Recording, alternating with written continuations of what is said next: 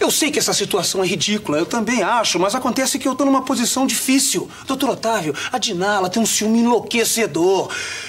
Ela, se ela entrar por essa porta, vai piorar tudo. Eu não sei qual vai ser a atitude dela. Tá piorando cada vez mais. Agora, com essa situação do Alexandre, ela tá à beira de um colapso nervoso. Por favor, doutor Otávio, me ajuda, por favor.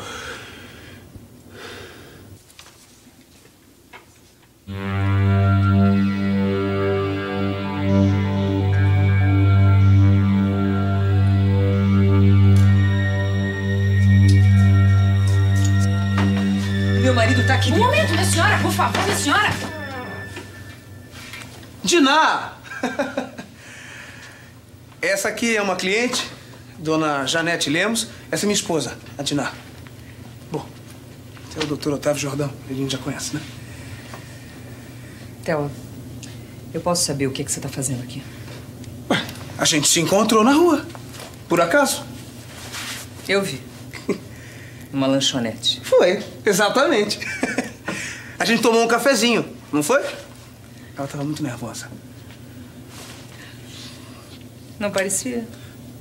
Ah, Mas foi exatamente isso. Eu trouxe ela até aqui para encontrar com o marido dela. Que no caso é cliente do Dr. Otávio Jordão. Né? É uma. É um processo de divórcio. Sei. E o marido? Não vem?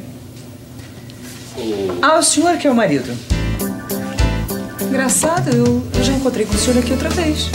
Ah, que bom que o senhor já está aqui. É, eu encontrei com, com a sua esposa no caminho, mas nós já conversamos sobre os termos do divórcio. Já está tudo certo. Inclusive, o doutor Otávio já explicou tudo, tá tudo. Janete, muito prazer poder ajudar você novamente se você precisar. Tá bom? Vamos? Bom, boa tarde, hein? Vem, vem.